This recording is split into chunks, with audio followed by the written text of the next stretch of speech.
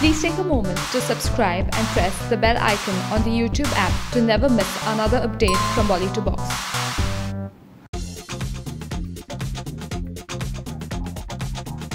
Aishwarya Rai Bachchan is considered to be the evergreen diva of B-Town and people still vouch for her elegance and grace. Recently, the diva was spotted on the cover page of Vogue India's April edition where she was spotted along with Pharrell Williams. This pic did turn on the heat big time and looking at this pic, we dug into the treasure of this special photo shoot. And here is what we found. A couple of pics which will surely turn on the heat big time this summer.